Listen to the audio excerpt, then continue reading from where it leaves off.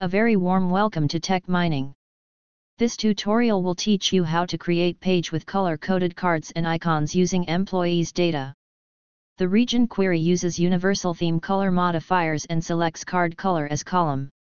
The region query is used to assign a color code to each row based on the value in the department number column.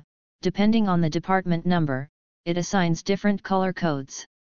It also uses a column substitution in the CSS classes to get the values.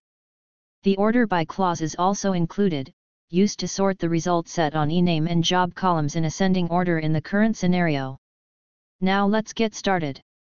First, create a new page.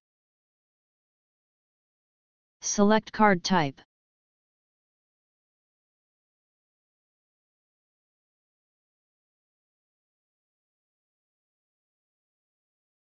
Set source type to SQL query. From the source code provided in video description, use the SQL query code. The code retrieves the following columns from the EMP table and adds an additional column, card color, that assigns a color code based on the department number. The result will be a list of employee records with the calculated card color column, indicating the color associated with their department, useful for visual representation or formatting purposes when displaying the data.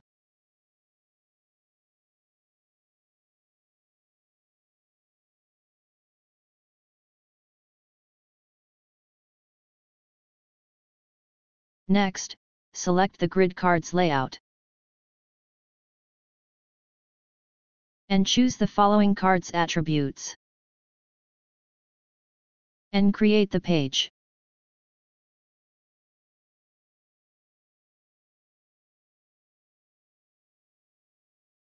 On the root node, scroll down to CSS and expand inline section. And use the CSS inline code. The code defines CSS custom properties variables within the pseudo class, root.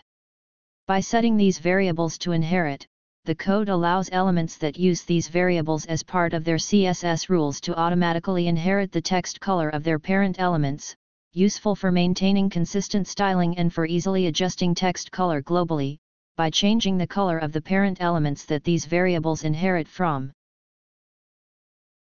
Under the cards region, make sure that the template is set to cards container, helpful in the appearance and layout of the region. To include this region in the region display selector, turn on the switch. This attribute is only utilized if a region of region display selector type exists on the page. When a user clicks on a region name, included in the region display selector, only the selected region shows and all other listed regions are hidden.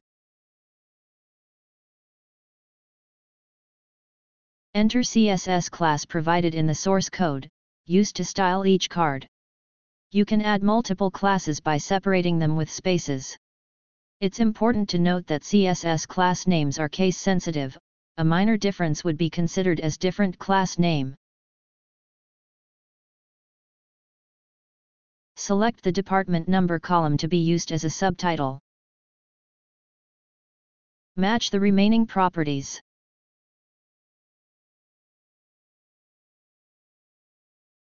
Duplicate the card region.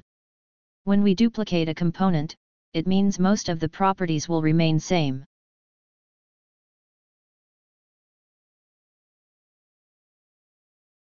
The SQL query will also remain same.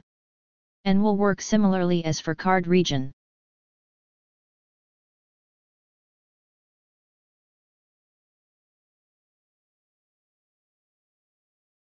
Under the template option, select Style B.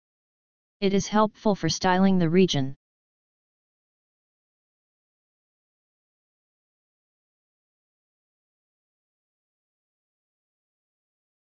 Under the Attributes tab. Remove the card CSS class from here, we will be using it below.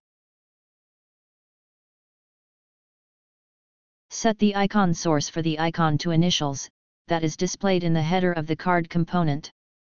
Select the ename column to be used as icon image source. Enter the same CSS class for the icon to add to this component.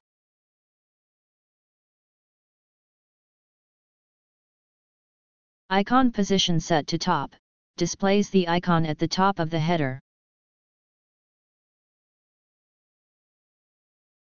Create a new region. It is of region display selector type, which display region names in a horizontal list, enabling end users to select one region to display and hide other regions. Only regions on the page with region display selector switch turned on, will be displayed in this region. Select the region template blank with attributes no grid, used to define the appearance and layout of this region. Include Show All switch when turned on, displays all regions on the page. Select how the tab you last selected, will be remembered on page load. Tabs are remembered using static IDs, so selection will be lost if the static IDs of regions change. Selecting No option, does not remember tab selections. This page item serves as an order by clause, enabling the sorting of the result set in the current scenario by e-name and job columns in ascending order. This page item is of select list type, displays an item with a built-in list of values selector.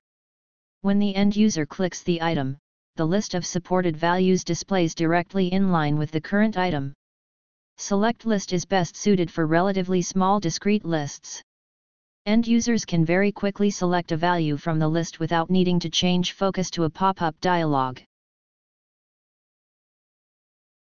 It also contains static list of values, the static list of values is based on the text value we enter.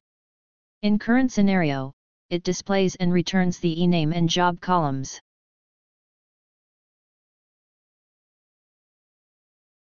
The default value type for this item is also set to static. The default value is used when the item's value is not derived from session state and when the source value is null. For better visibility, move the item on the top of all regions. Save your work. Run the application.